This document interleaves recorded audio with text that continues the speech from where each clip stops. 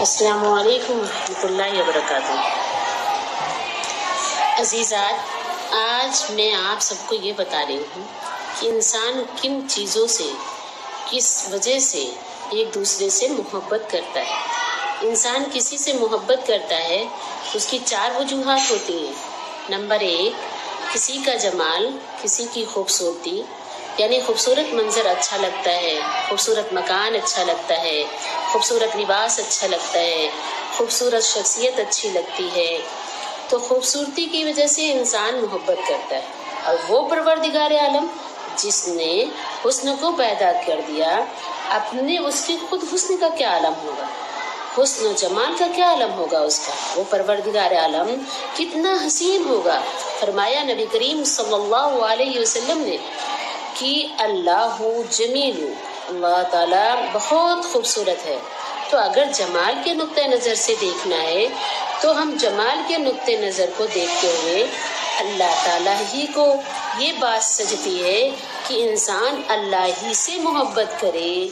Number दो, जो इंसान किसी दूसरी वजह से किसी से मोहब्बत करता है, वो उसका किसी किसी का फजल और कमाल देख कर करता है। इंसान कमाल से मोहब्बत करता है। किसी अच्छे उस्ताद को काबिल उस्ताद से जो मोहब्बत करता है तो उसकी काबिलियत उसकी तारीफ़ देख कर मोहब्बत करता है। इसी तरीके से दुनिया में बहुत सारे लोग ऐसे हैं जो खिलाड़ियों से मोहब्बत करते हैं क्योंकि उन, उन्होंने अपने खेल में कमाल किया होता है। और अल्लाह ताला के फजल कमाल का क्या कहना कुरान मजीद में अल्लाह तबारक ताला ने इरशाद फरमाया कि अगर दुनिया में जितने समंदर हैं, वो स्याही बना, बन जाएँ और दुनिया के अंदर जितने भी दरख्त हैं, वो कलमें बना दी जाती तो उन कलमों से और उस स्याही से जब तेरे रब की तारीफें लिखनी शुरू होती तो वो एक वक्त ऐसा आता, सारी स्याही खुश्क हो जाती और कलमें टूट जाती।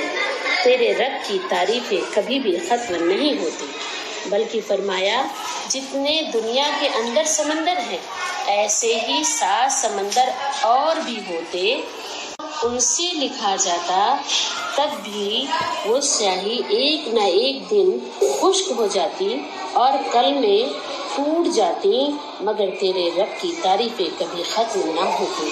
तो तारीफ़ के लिहाज से और कमल के कमाल के लिहाज से इंसान को चाहिए कि अल्लाह ताला से मोहब्बत करे। नंबर तीन, किसी का माल और मनाल।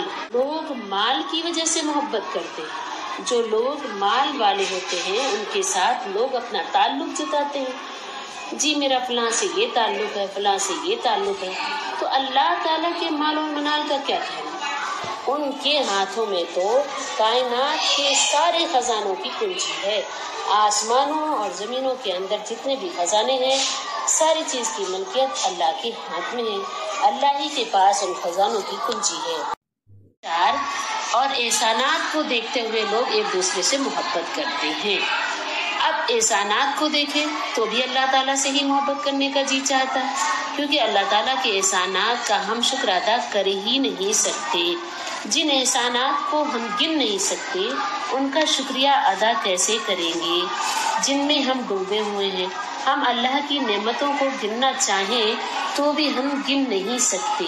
अगर हमें अल्लाह आँखें नहीं देते तो हम अंधे होते, समात न देते तो हम बहरे होते, और गोयाई न देते तो हम गूँगे होते, अक्ल न देते तो हम पागल होते। अल्लाह ताला हमको खाना न देते तो हम भूखे होते और पानी न देते तो हम प्यासे होते। हमको इल्म न देते तो हम जाहिल होते। अल्लाह ताला ताकत न देते तो हम कमज़ोर होते और सेहत न देते तो हम बीमार होते। अल्लाह ताला हमें इज़्ज़त न देते तो हम जिल्लत वाली ज़िंदगी गुजार रहे होते। हम जलील होते। आज जो हम इज्जतों वाली ज़िंदगी गुजार रहे हैं, ये सब अल्लाह ताला का करम और उसका एहसान ही तो है। तो हम तो अल्लाह ताला के करम के सदक़े जी रहे हैं। ये वो नेमतें हैं जो उसने हमको बिन मांगे अता फरमाई है। इसलिए अल्लाह ताला की नेमतों पर गौर करने से इंसान के दिल में ये बात आती है कि इंसान अल्लाह ताला से मोहब्बत करे। सच्ची बात तो ये है कि मोहब्बत के काबिल अल्लाह ताला ही की ज़ात है। उसी के अंदर चारों चीज़ें मौजूद हैं। जमाल भी मौजूद है, कमाल भी मौजूद है। जमाल भी मौजूद है, कमाल भी मौजूद है। मालो मनाल भी मौजूद है। हम पर और एहसानात भी खूब हैं।